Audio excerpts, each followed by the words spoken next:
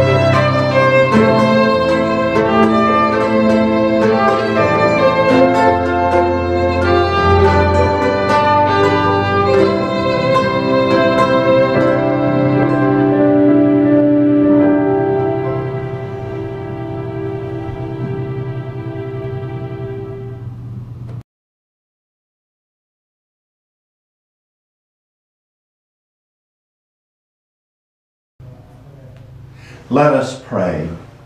God within and beyond us all, teach us the silence of humility, the silence of wisdom, the silence of love, the silence of faith, the silence that enables reflection and speaks without words.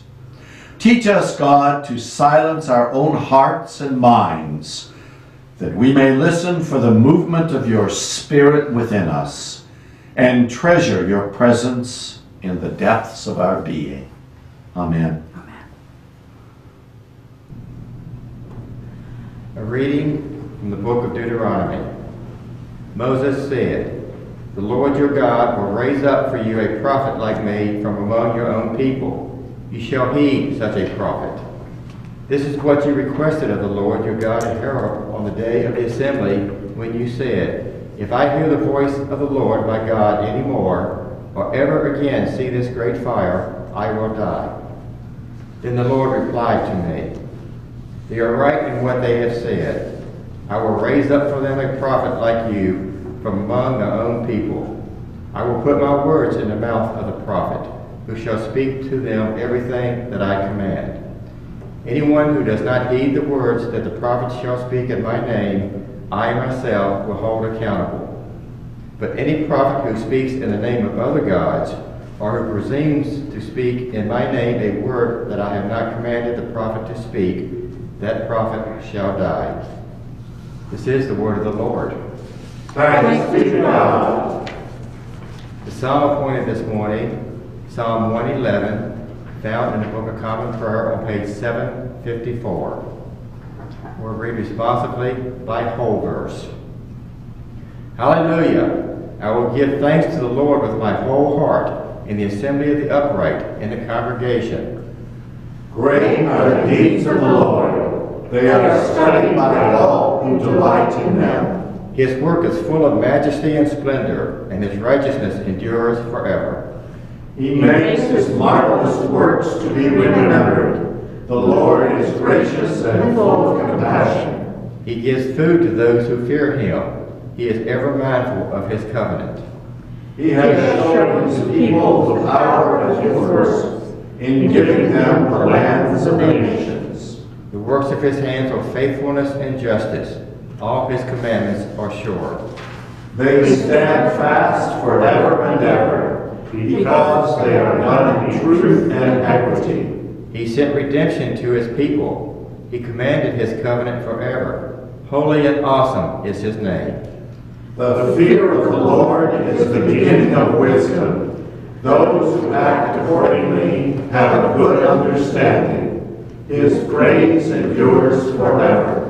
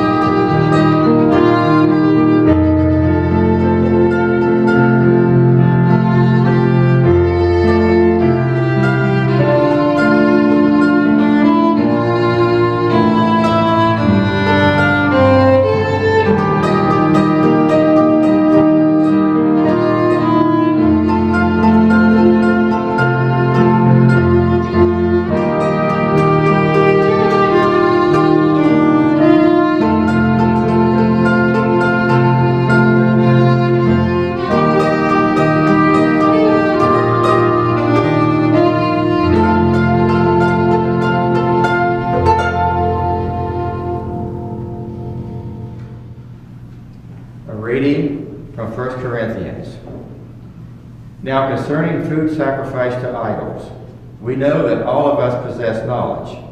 Knowledge puffs up, but love builds up.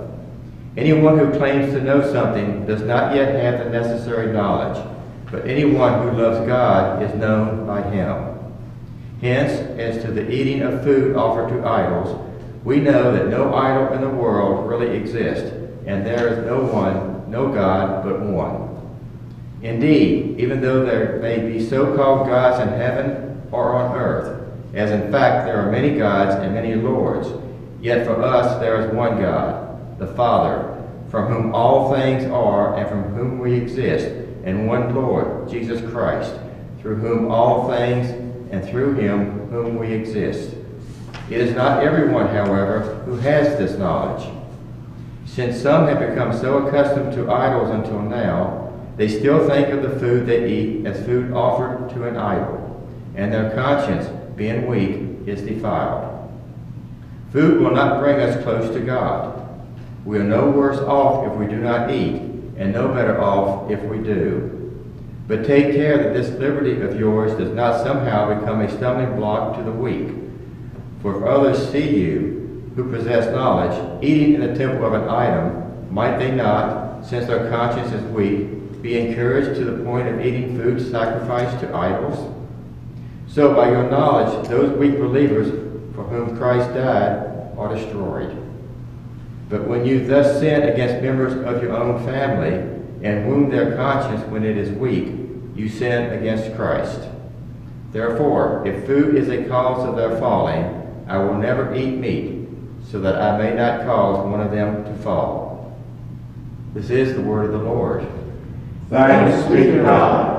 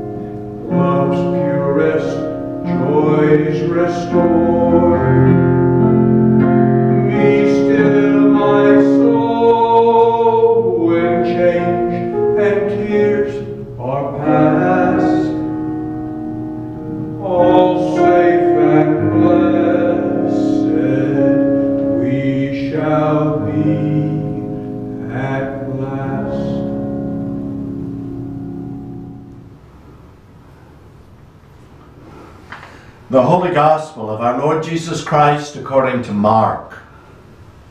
Jesus and his disciples went to Capernaum.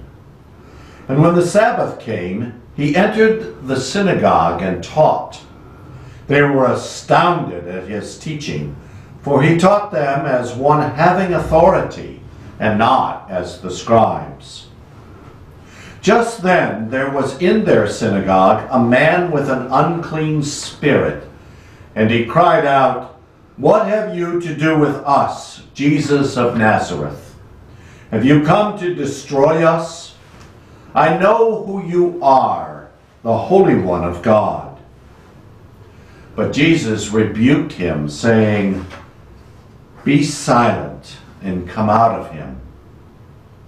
And the unclean spirit, convulsing him and crying with a loud voice, came out of him they were all amazed, and they kept on asking one another, What is this? A new teaching with authority. He commands even the unclean spirits, and they obey him. At once his fame began to spread throughout the surrounding region of Galilee. The Gospel of the Lord. Praise to you, Lord Christ.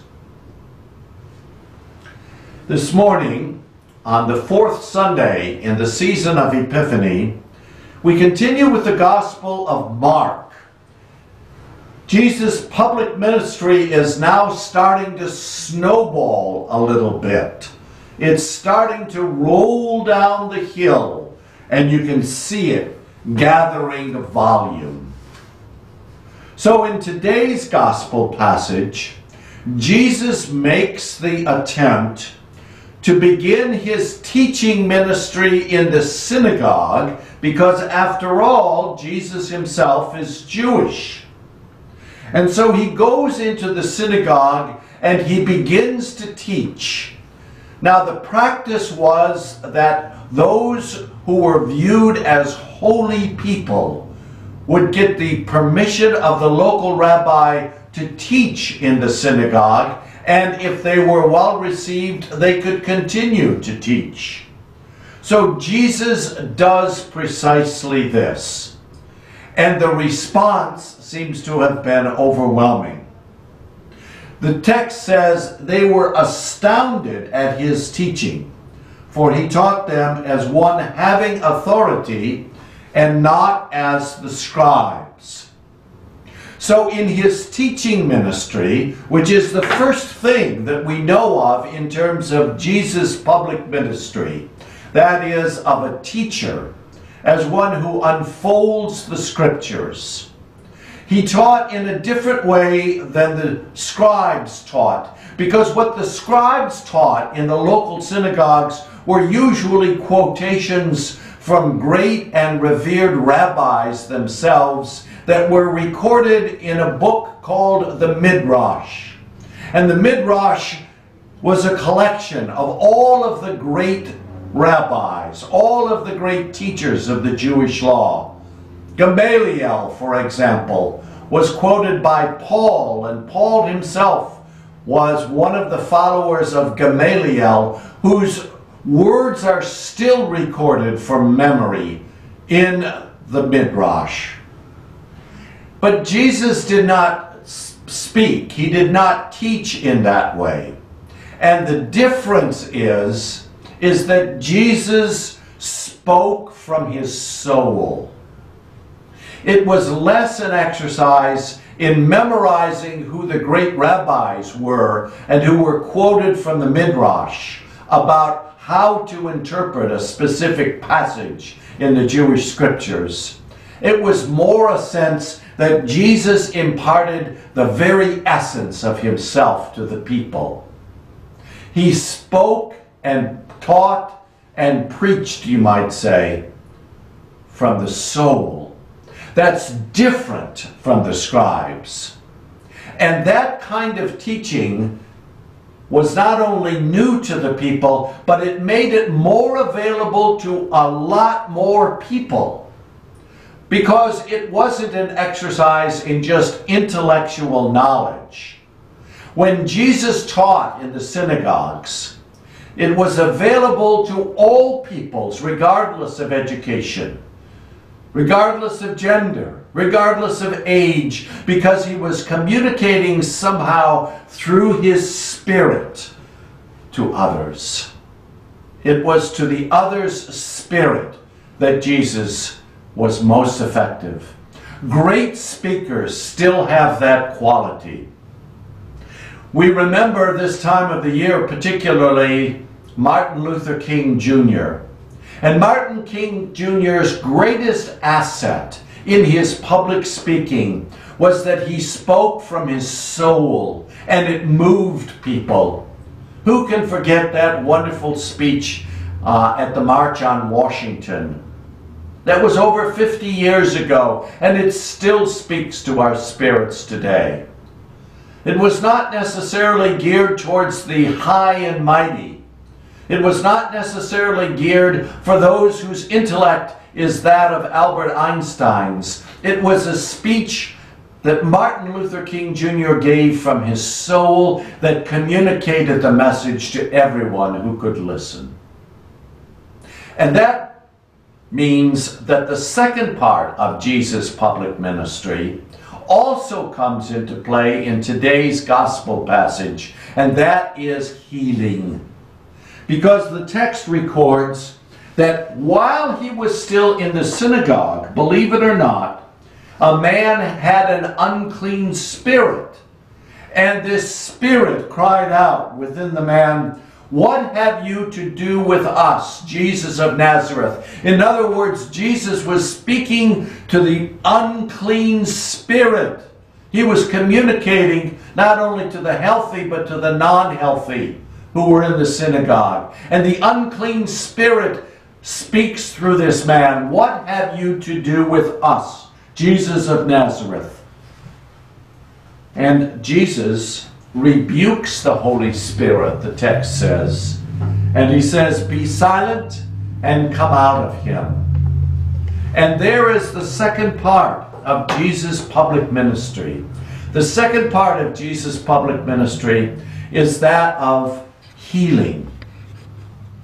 Now, that is not to say that Jesus is a modern day neurosurgeon who can use all of the available instruments of technology to heal people. It's a different kind of healing. It's a spiritual cleansing. And it does not alleviate necessarily suffering and pain. It does not even explain how suffering and pain came to be. But rather, what it does is it puts Jesus in the presence of pain and suffering. So that when we suffer, Jesus suffers along with us. And in that is to be found redemption. In that is to be found freedom.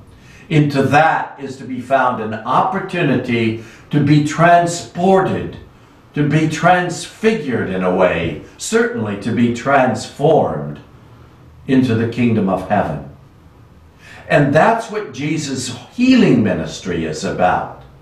It transports us from the things of this world to another realm, another way of being, which is called the kingdom of heaven. And then later on in all of the Gospels, Jesus talks about what it's like to be in the kingdom of heaven.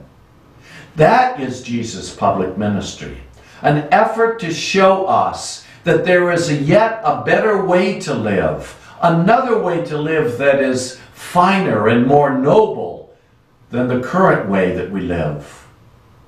So when Jesus confronts us, he does not confront us as a way of relieving our suffering, but rather placing himself in the midst of our suffering and say, I am with you.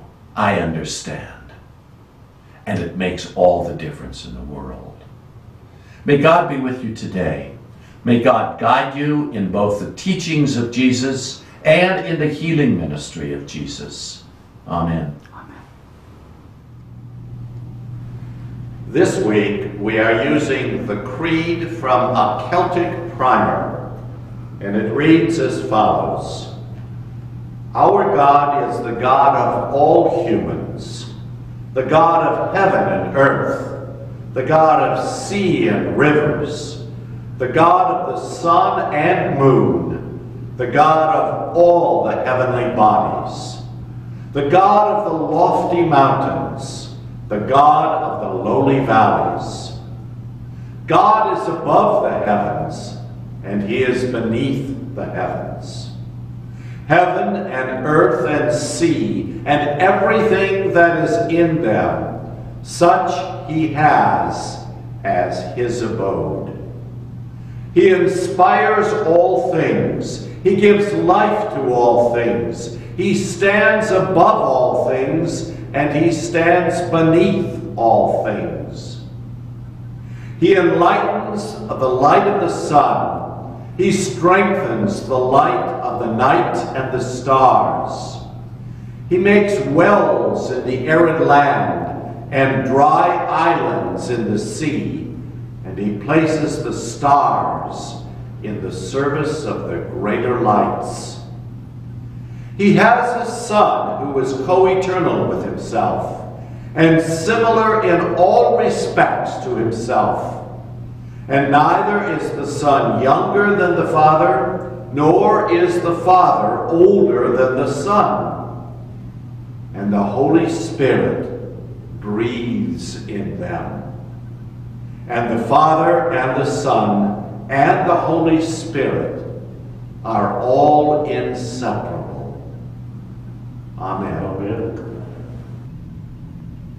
Prayers of the people, Form 2, found on page 385 of the Book of Common Prayer. I ask your prayers for God's people throughout the world, for our bishop, for this gathering, and for all ministers and people. Pray for the church. I ask your prayers for peace, for goodwill among nations, and for the well-being of all people. Pray for justice and peace.